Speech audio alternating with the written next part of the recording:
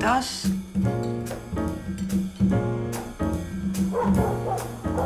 Mutta eihän mikään juttu kestä, jos luovuttaa heti ensimmäisen ristiriidan kohdalla.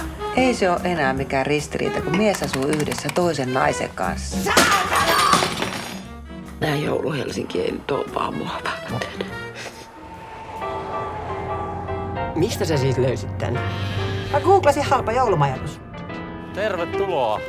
Te oottekin meidän ensimmäiset asiakkaat. Oletteko te opiskelleet näitä viljelyjuttuja? No siis netistä löytää kyllä yllättävän paljon kaikkea tietoa. YouTuben avulla mä opettelin lampaatkin kerritseen. Lupasin Tuurelle vilkasta tätä massikkaa. Eihän tää maapallo vaan kestä tätä nykymenoa. Mä oon tehnyt kasviskinkun sieniproteiinista ja seitanista. Sulla on siis mies. On ja ei. Oliko se niin, että sulla oli nyt tässä just jouluaikaa se ovulaatio? No joo, kai se oli jotenkin näin aikoihin. No tota, mä jään vielä miettimään sitä sun on ja ei oo tilannetta. Riisu. Miksi te halusitte tulla tänne? Teki varmaan vaan mieli rikkoa jotain ja me valittiin joulu. Et vaan kato rakastu muhun, niin ei oo mitään ongelmaa.